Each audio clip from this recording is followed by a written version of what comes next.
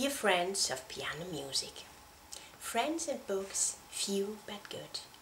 I have often thought about this saying, why only a few books? The answer is simple, because a good book is like a mirror for the soul, and if you wait a while and read it again, it seems like a completely different book, since you have evolved yourself. It's the same with music. Therefore, it is very exciting, but also very important that you play pieces that have a personal meaning again at long intervals. Often there is a whole new perspective, new timbres, maybe a different tempo. That's a good sign. The personality has developed and so the piece is brand new again, an authentic snapshot at another point on the long and winding path that is called life. Already in my late childhood I suffered a kind of mental blockage, a kind of trauma or severe artistic crisis from which I was unable to free myself for a very long time. So I stopped playing the piano, moved to another city, studied Latin, learned Greek, worked as a teacher in a comprehensive school, got married and had two children. And gradually it got better. My recordings in this channel document the last few meters of my liberation from this severe crisis. I feel like I've made it now. I'm myself again, I can play the piano again and feel free and happy while doing it. Thank you for taking these final steps with me.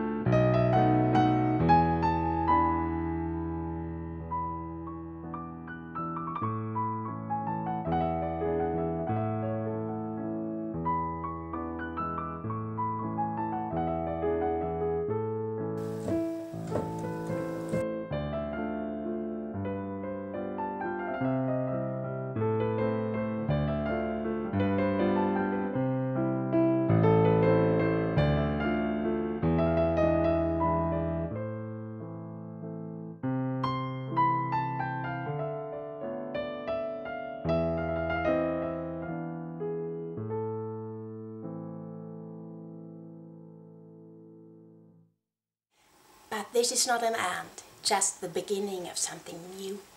I hope you stay at my side. Have a nice week.